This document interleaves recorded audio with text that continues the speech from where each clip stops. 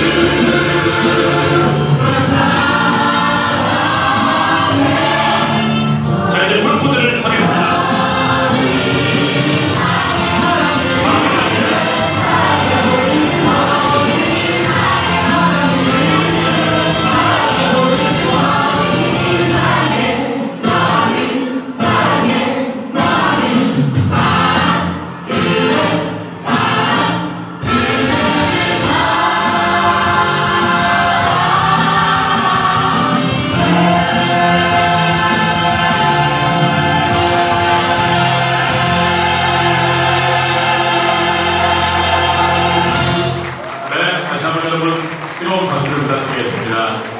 자, 우리 배우분들과